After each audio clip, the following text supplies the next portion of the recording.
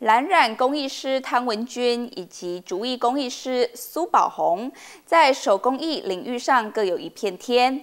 最近克服技术上的困难，将蓝染与竹艺创作结合，呈现新的工艺风貌。在七六八艺术空间邀请下，举办联展，展期到四月六号，欢迎对艺术与手工艺有兴趣的民众前往参观。利用懒懒技法搭配前后景深的概念，工艺师汤文俊的作品呈现出 3D 立体互动的感觉。走进作品当中，仿佛走进了梅花林一样浪漫，让参观民众惊艳。近期更是与工艺师苏宝红合作，展现出懒懒与竹的不同风貌。我们用的是蚕丝。然后利用它的透明度，然后呃让人到呃画里面去的时候呢，它是可以不被遮挡的。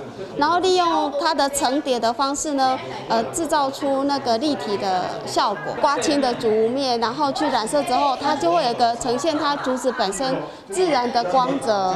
好，那我们就会尽量保留竹子它原生的态的的状态，然后表表现它的一个美感。竹彩啊，它最上面的竹青。其实它是不好染的，那所以我们就是啊要接受这个材质的包容性啊，就是我们可能要把它削到这个竹肉啊，就是中间的那一层，它才是比较好吸附的一个一个状态。突破材质与技术的限制，将多元复合媒材结合，让作品保留皮革的柔软，也让朴实无华的竹艺作品有了新的色彩与风貌。现在已经产出产品了，我们未来可能会有。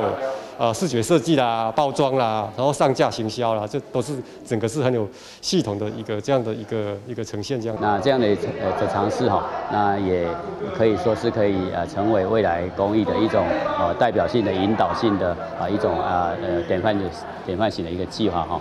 那呃包括它的造型表现也凸显是它的当代性的一种造型。懒懒与竹的邂逅，作品多元又有创意。目前在草屯镇中潭公路旁的七六八艺术空间展出，展出期间到四月六号截止，欢迎大家一同前往体验。记者张东仁草屯镇采访报道。